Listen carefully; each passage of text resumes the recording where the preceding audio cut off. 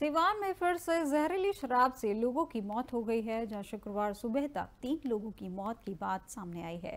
लोगों का कहना है कि तीनों ने शराब पार्टी की थी, जहाँ तबीयत बिगड़ने की अस्पताल में भर्ती करवाया गया। जहाँ इलाज के दौरान तीनों की मौत हो गई, जहाँ तीन तीन मौत के बाद फिर से हड़कम मच गया है।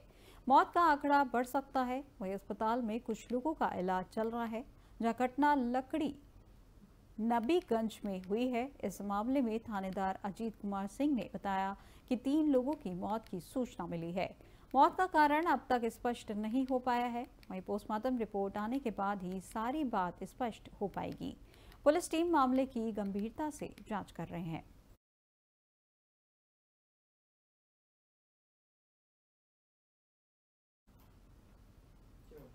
रूस में ब्रिक्स की बैठक के एक महीने से भी कम अंतराल के बाद प्रधानमंत्री नरेंद्र मोदी की चीनी राष्ट्रपति शी जिनपिंग से जी ट्वेंटी शिखर सम्मेलन में एक और मुलाकात हो सकती है।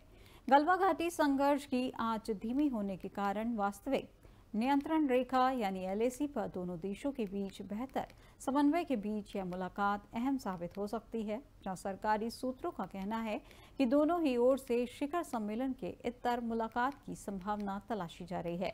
इसी पर सरकारी सूत्र ने कहा कि फ़िलहाल चीन जी ट्वेंटी शिखर सम्मेलन के इतर दोनों नेताओं के बीच मुलाकात का इच्छुक है। इन मुलाकात की संभावना तलाशने के लिए इससे जुड़ी तैयारियाँ भी की जा रही हैं।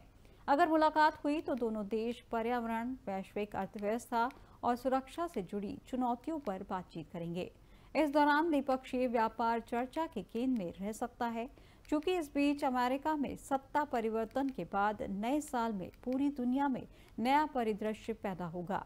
यूक्रेन युद्ध को लेकर भी नई स्थिति पैदा हो सकती है और इन परिस्थितियों में जिनपिंग मोदी की मुलाकात बेहतर अहम साबित हो सकती है।